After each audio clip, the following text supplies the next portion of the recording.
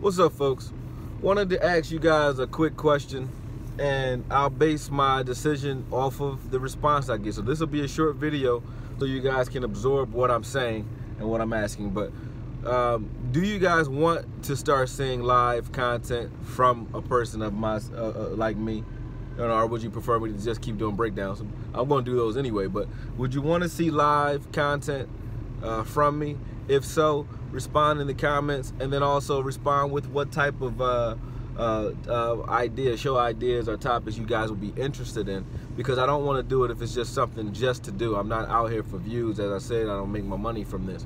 So if it's something that you got, you guys will gain value from, I'll do it. I just want to know what style or what uh, what topics you would be interested in, and also um, if you'd be interested in it at all. So you could just respond with a simple yes uh, and I'll I'll tally that up and also likes of this video I'll tally that up. But um, I'm working on um, the montage of the defensive line right now uh, so I can put that out. I have, to do the commentary on it. I have a volume 2 to Sean Lee coming.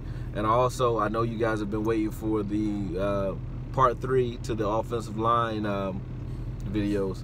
Uh, haven't haven't really gotten that one out yet because that one's going to take a lot of, uh, of, of film.